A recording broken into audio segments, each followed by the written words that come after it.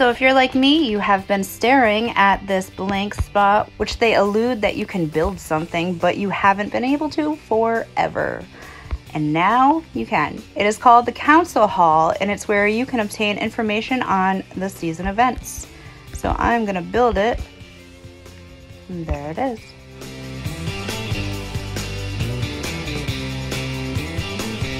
You have the Viceroy officials, which means at the end of the event, the mayor of the winning city can appoint officials to this page.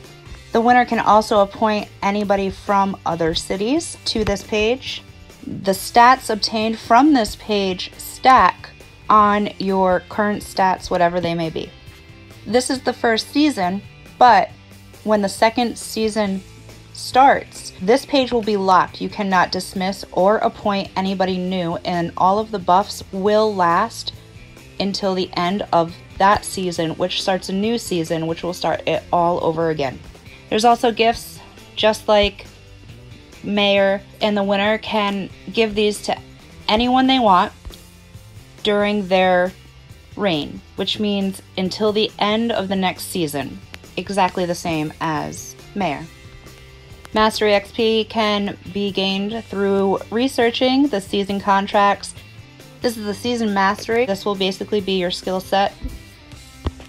And you just keep on building it like a normal skill set. And then you have the mastery points, and those can be received by leveling up the mastery level. This will increase your power while reaching different VIP levels.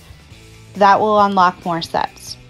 Only cities where the season event is open can use the mastery sets, and if a leader moves to a city that has no season event, the existing mastery buff will be frozen until the city where the leader is opens the season or the leader migrates again.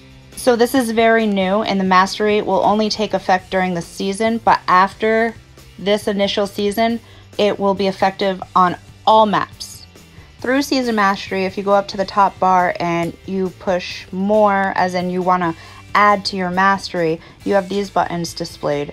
And you can get season contracts and open up these levels.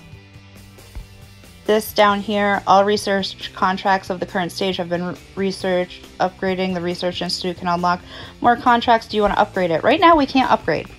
Level 1 is the highest level, which looks really awkward in my mansion, let me tell you.